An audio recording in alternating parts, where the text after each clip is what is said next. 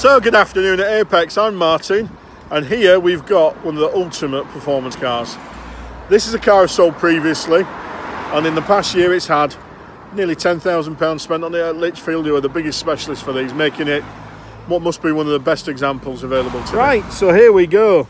Nissan GTR R35, or some people call Godzilla. Now these are pound for pound the best performance car money can buy.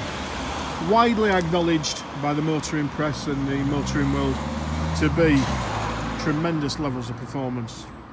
Now this is a facelift car, not the earlier model, and it's a Recaro model. The car's a car I sold last year to one of my close friends who's he was uh, he owns an engineering company making gearboxes for race cars, so very pedantic, very particular, and only the best will do. Um, this car has had in the last 12 months of his ownership somewhere in the region of 10,000 pounds spent on it at, who are predominantly the biggest specialists for these in the country Lichfield now that's had modifications to take the car up to a stage 4.25 which gives the car 664 brake horsepower, which is, the car's also accompanied by a dyno print to back that up. On top of that, it's had the tyres upgraded to cope with the increased power, um, and it's just been in for a health check just before it went on a road trip to Monaco for the uh, historic F1. Um, and it's had a clean bill of health with no advisories at all from Lichfield. Now, as I said, this car's stunning, really special. I supplied it, I know the car, I know where it's been. The car's been checked, it's never had a launch. We've got a printout saying it's never had the launch control used once, which is an important thing to note on these cars.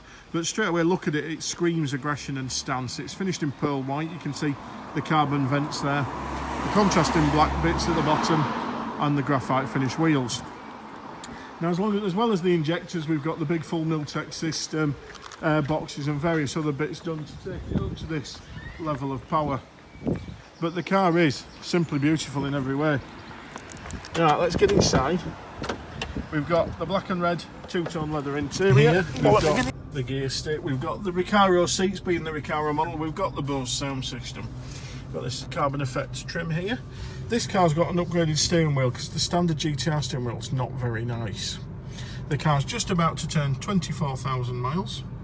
And as I said, I mean, it's an insane amount of power it's a stupid level of performance. This is a stupidly quick car and for somebody that understands these things.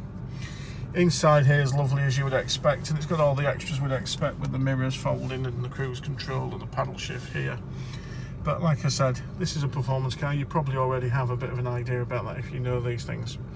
I mentioned before the car's been upgraded to Michelin Super Sport tyres which have only just been fitted to cope with the increased power because on the increase the big power cars the cheaper tyres can misshape because they can't handle it. The car's also got as I say a printout showing it's never been uh, launched and a total history and clean bill of health from Lichfield. It's also got warranty with Lichfield until November this year which is a nice option to have as I said it's lovely it's special it's been treasured it must be the best on the market. It's here now we can arrange some funding we'll look at your part exchange please give me a call and we'll have a chit chat. All right i look just look forward to speaking to you soon toodaloo